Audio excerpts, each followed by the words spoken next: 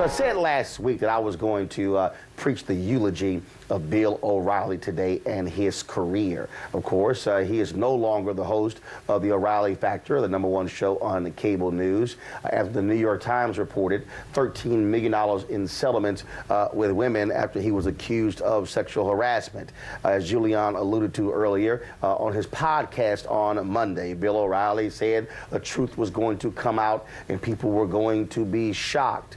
But the reality is this Bill O'Reilly, your career on Fox News is toast. You have sat on that perch, that bully pulpit, you have attacked other people. You have sermonized from the mount of Fox News, if you will, uh, telling individuals uh, about their morals and values and their character. You have espoused these conservative values. You have talked uh, to your largely white audience, uh, holding rappers like uh, Ludacris accountable, holding folks like Bill Clinton accountable, and things along those lines. But now, all of a sudden the moralizing and the sermonizing can somehow go away because of the allegations against you. Now, last I checked, if, if I've ever been accused of sexual harassment, I can guarantee you uh, one thing there would not be a $9 million settlement. But let's also be honest, that was a $9 million settlement with one of your former Fox News producers because she had you on audio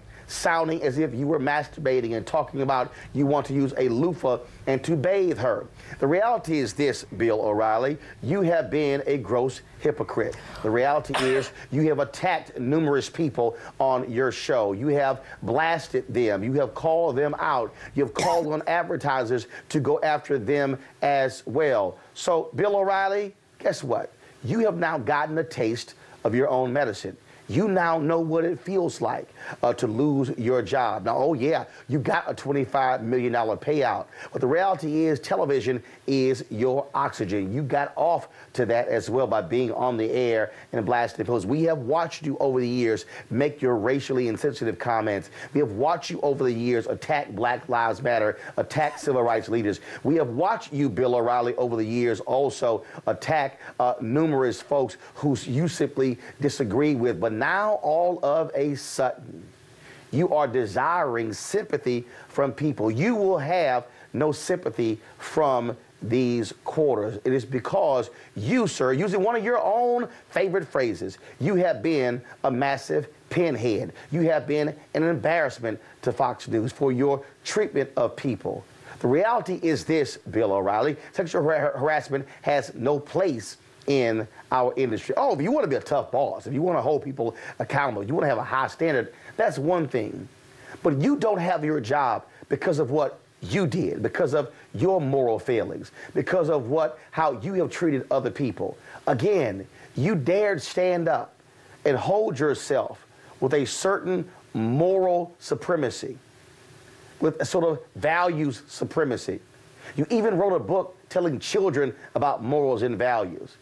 Well, now, sir, you have time to reflect.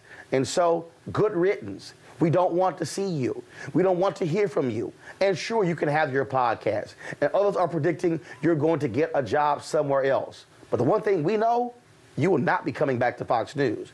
You will not be on at 8 p.m. every single night.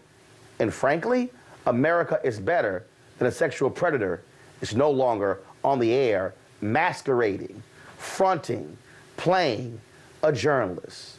Good riddance to your career. Job well done, but you've now go down in the flames. And your obituary, one day when it is written, will include being the top rated cable host, but also a sexual harasser. A peaceful protest turned deadly. 37 year old black man was shot and killed by Baton Rouge police. His hands are in the air and you still get shot by the cops. Oh my God, please don't tell me he's dead. We're not gonna let hate define us. Race is a big part of this. If truly all lives matter, then all lives need to matter equally. What we require is action. What we require is accountability. We understand that black lives do matter, and we will keep focused on this issue. NewsOne Now, every weekday morning at 7 on TV One.